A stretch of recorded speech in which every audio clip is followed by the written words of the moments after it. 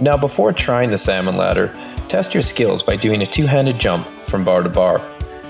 This will give you an idea of what it feels like to be on the salmon ladder. For proper hand placement, be sure to place your hands slightly wider than shoulder width. This will really help with bar control. For this step, engage your core and lift your legs in an upward motion. At the same time, use your arms to lift yourself in a pull-up motion.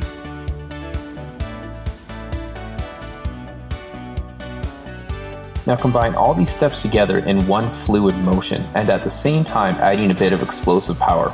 This will really help you get up that salmon ladder.